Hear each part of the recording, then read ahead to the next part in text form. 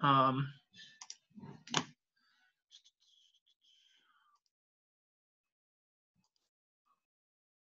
all right.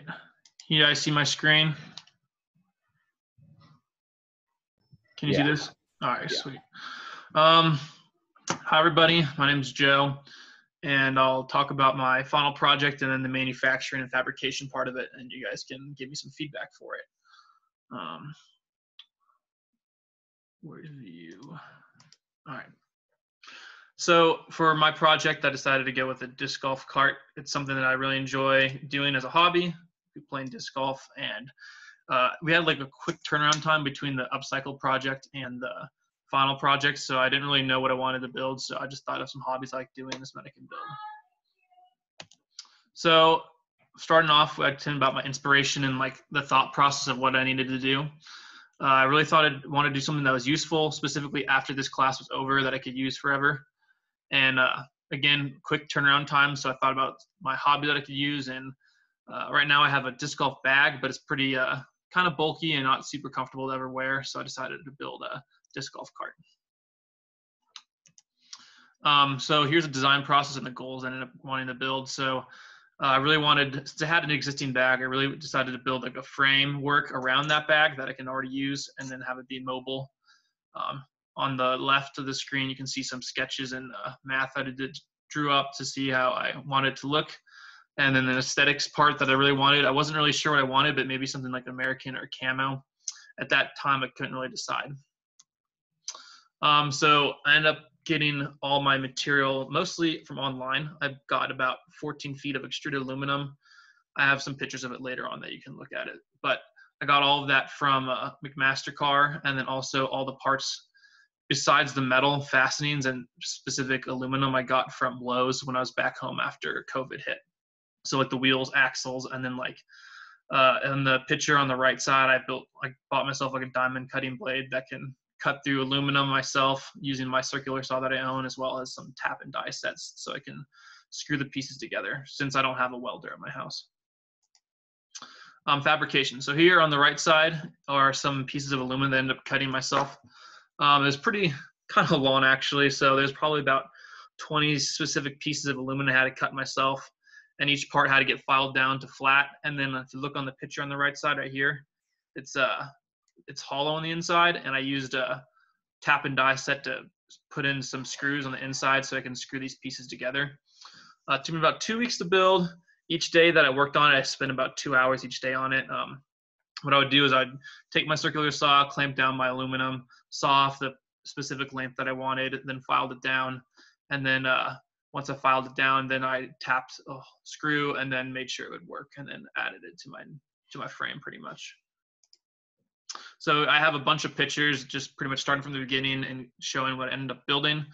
Uh, this is all done in my garage at my house, so it, the workspace was better than I had previously at my at school because I just had my apartment uh, apartment like desk that I had to work on. This time I actually have my garage, so that's pretty nice. So here's like a clamp and me uh, putting in some screws. This is me. Uh, that's a big file that I was using by hand and this is a part of the aluminum frame that I was building. Here's another picture of some parts that I had built together. So here, right here on these corner pieces, those are uh, uh, pieces that I got from McMaster-Carr, but it allows me to have like three points of contact, so I can have like a an end piece on the bottom for the golf cart. Uh, moving on, this is inside my house, me framing up my bag around the frame that I was building. Over here is the middle one. This is pretty much the frame coming together and then putting the back on the edge. Here is the finished like original frame that I ended up building. Have uh, two cross beams on the bottom because my bag has little like pegs. And so the front pegs can fit in this front slot and the back peg can fit on this back slot so the bag won't slide around. Um, here's where my main drift away from the original project happened was right over here. So I really wanted to like have some sort of like acrylic side paneling or plexiglass or something, but I already spent like $150 of raw parts for this project, so I didn't really want to spend any more money. And then since I was at my house, I didn't really have places I can go to go buy any of it, so I just went around and found a lot of old strings. So if you look closely, I pretty much just did some webbing patterns on the back and on the side of the cart.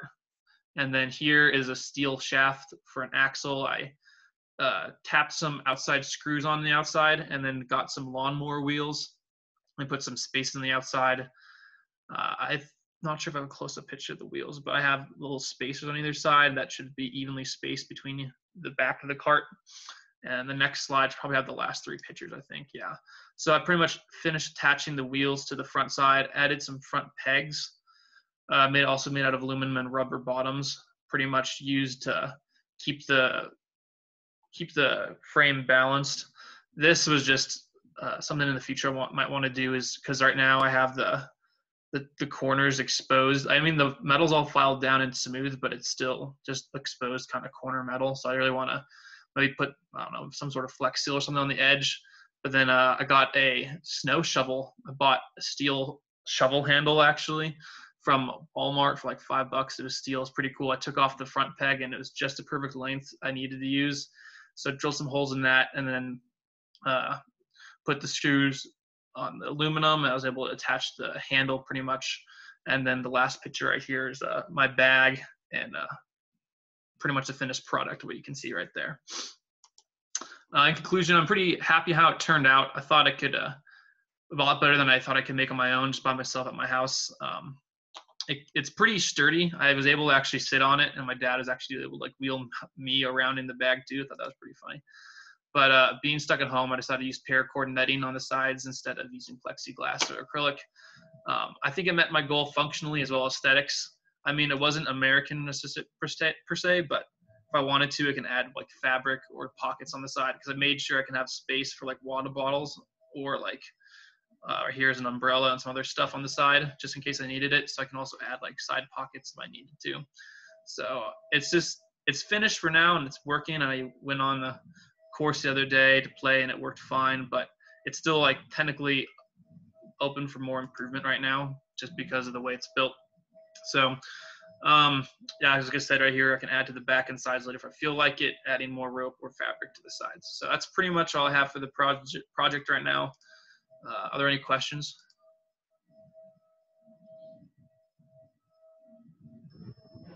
Nice job, Joseph. That was some really resourceful engineering. I was really impressed with how the final product looked. Um, Thanks, man. The use of the shovel I found particularly interesting, uh, just because you use what you had and it actually it turned out really well. So good job. Um, any other statements of meaning for Joseph?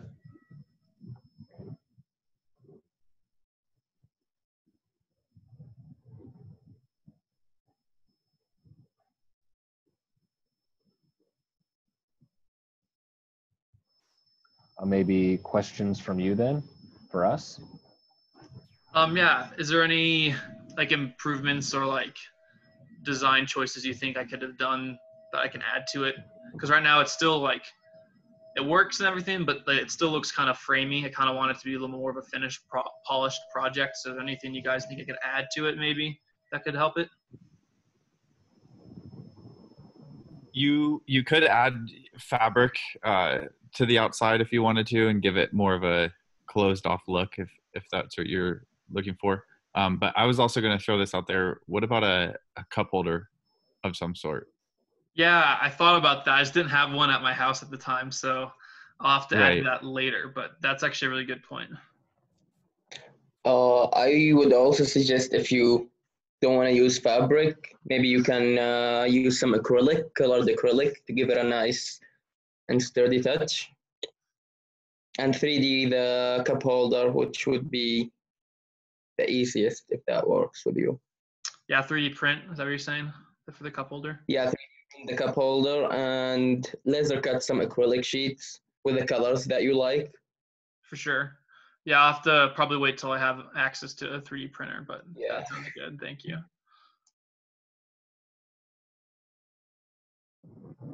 Does anyone have any questions for Joseph?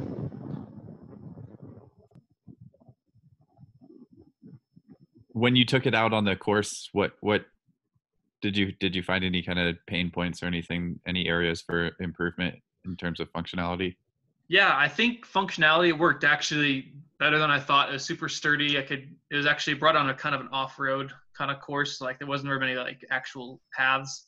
It was all like on the ground and rocks and stuff. So it was actually sturdy throughout all that. Um, but one of the issues I realized that building it out of aluminum, it got a little heavy. There's some points where I had to like go up a steep hill. So I was kind of lugging it up the hill and it was kind of annoying. But besides that, I think it was doing really good.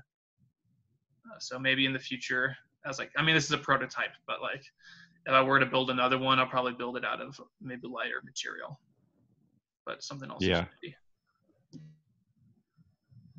I was wondering what you would describe the final aesthetic of your piece as. If you weren't able to really fully go for the American flag or the camo look, what would you describe it as now? Um, I have more rope. That's probably to use it. So maybe sort of like a canvas rope look. I'm not sure. One of my classmates here for the upcycling project, his name's Davis. He built like a rope rug and had some cool weaving patterns to it. So I was kind of trying to look off his project a little bit. So kind of like a rope look. I'm not sure that's an actual aesthetic, but yeah. Probably is, yeah. Any permissioned opinions? Yeah, go for it. I don't.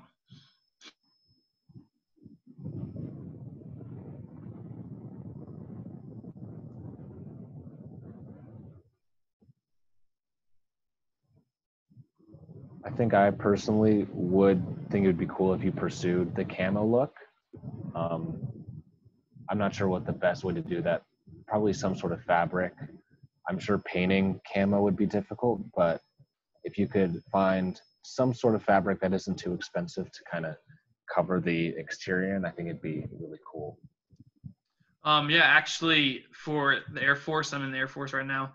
Our uniforms are actually getting phased out. We're doing a different style of uniform next year. And so I have like three sets of uniforms that actually aren't going to be used anymore. So I could actually take my old uniforms and use that for the side paneling, actually, which would be pretty interesting. I think that would add another level of meaning and sentimentality to the piece too. Um, Mhm. That probably just makes it that much more interesting. Yeah, for sure. Thank you. Uh, does Yeah. anyone else have anything else? Yes. Um, so I was gonna say kind of something along the same lines. I thought you could probably fill out the like back webbing of that cart a bit more. It's like very functional right now, but you could like throw in some more weave or like different color rope, I think, and that would help it kind of become a little bit more professional and finished looking, I thought. But really good job. Thanks. Thanks, Thomas.